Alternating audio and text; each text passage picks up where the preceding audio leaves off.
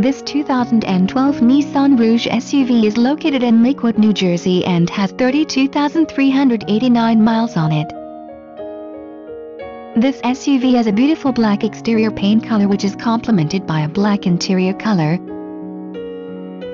For more information on this great SUV please click the link below.